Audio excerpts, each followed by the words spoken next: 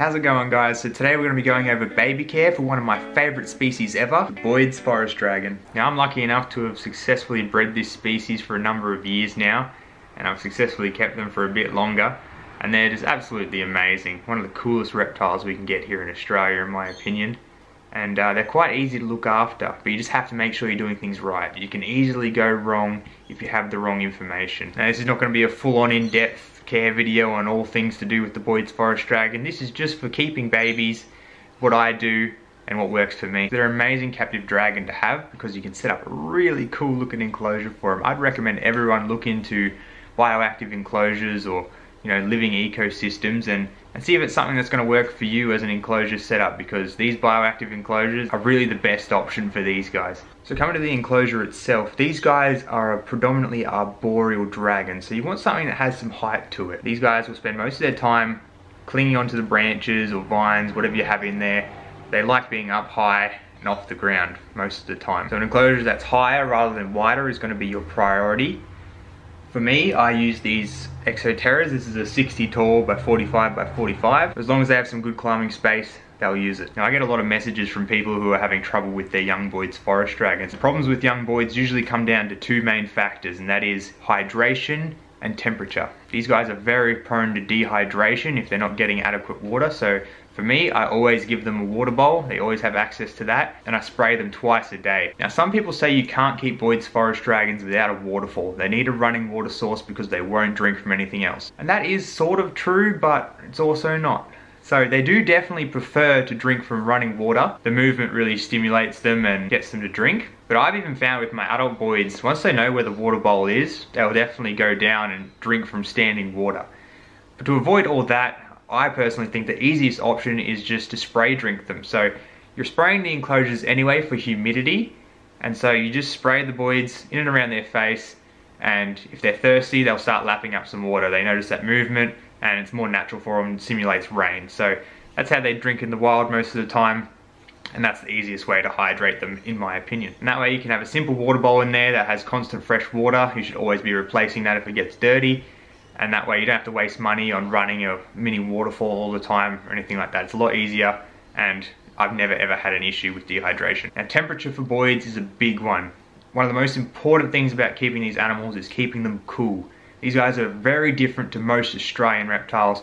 Most Australian reptiles love being out in the sun basking, getting that nice heat.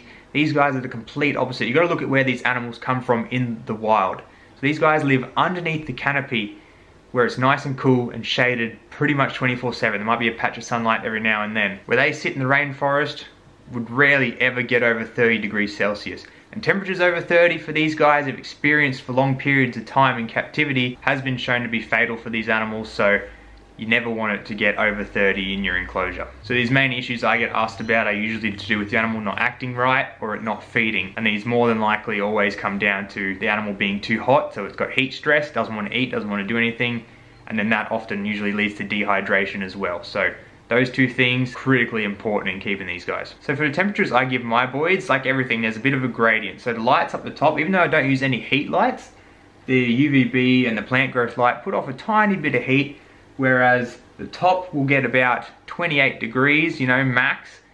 And then as you come down from that, it'll go all the way down to probably about 20 at the bottom. So right around the middle of the enclosure, it's mid to low 20s, and that's perfect for these guys and really easy to achieve. And a sign that your dragon is too hot is usually they'll retreat down to the forest floor, maybe even trying to dig down underneath the leaves or anything like that, or just laying flat on the ground. Now that's not always the case. They might just be looking around or digging or doing whatever, but it's doing that a lot, then it could be a sign it's got some heat stress. So as far as the decorations inside the enclosure, you want to have a bunch of different branches and vines and things like that for them to climb all over where they can, you know, sw swivel around and hide behind.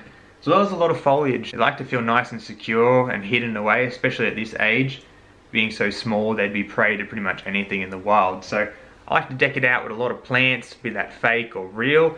In this case, these are real live plants and they've really just engulfed the whole enclosure and grown out really nicely, which is awesome. I've had to cut it back about three or four times now. But they love hiding in and amongst the leaves and doing their thing. So I recommend, you know, lots of perching opportunities, lots of different branches, vertical and horizontal and whatever.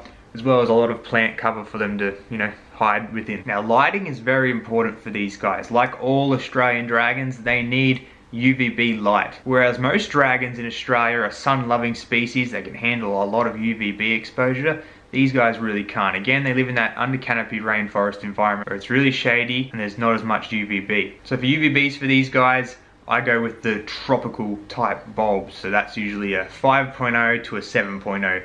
On these ones at the moment, I'm using the Arcadia 7% Shade Dweller.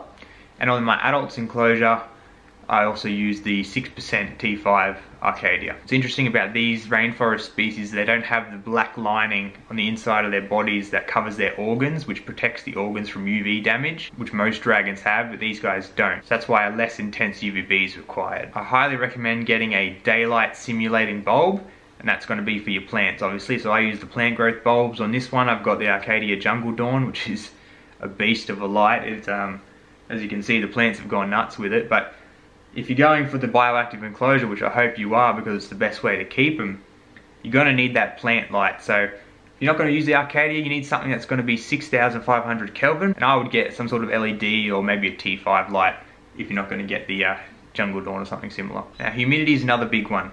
Being rainforest animals, these guys like high humidity, but rainforest isn't always at 100% humidity. So for these guys, I spray them in the morning and the evening. Usually I turn the lights on give them a spray. And while I'm spraying, I also make sure I try and spray drink them. If they're thirsty, then they can drink.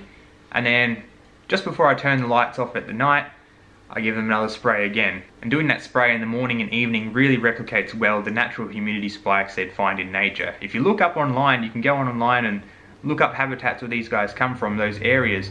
Look at the humidity ratings throughout the day. It'll be high during the night, start dropping off in the morning, a bit less humid during the day, and then start rising again as you come into the evening. So that's what that's simulating. So you don't want it to be constantly wet in the enclosure. I like to have it dry out a bit throughout the day and that's going to stop things like respiratory infections happening as well as, you know, mold buildup or anything like that in the enclosure. It's a good natural cycle. So for substrates, there's a few different options you can choose. So if you're going bioactive like I recommend, you're going to want a mix of stuff that's going to sustain the plants and be good for the microfauna as well. It's going to clean the waste of the animals. So in here I've just got a mix of coir peat, sand, Euki mulch, some bark, and some sphagnum moss to keep that aeration in the soil. That's going to be good for the plants and the microfauna. But if you're not doing a bioactive soil, you can simply use just some coir peat, change it regularly. But in my opinion, if you're getting an animal that's as cool as this, you may as well go all out and do the whole bioactive system because it's going to be so rewarding for you and them. Obviously going to need to choose your plants wisely make sure they're not going to harm the reptile and they're going to do well in the enclosure.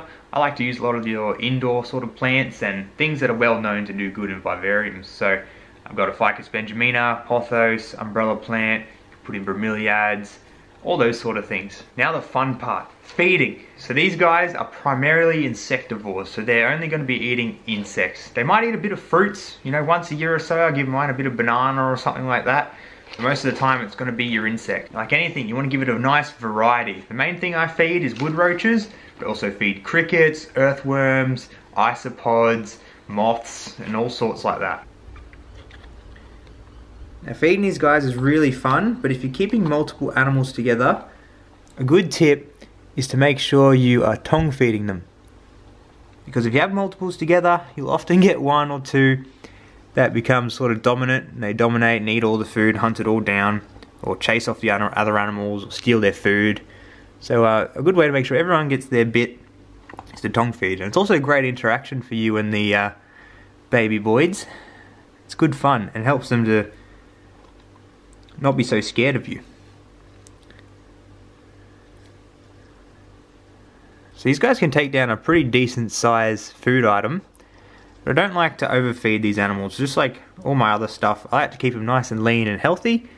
Typically they'll eat until they're full and you can stop.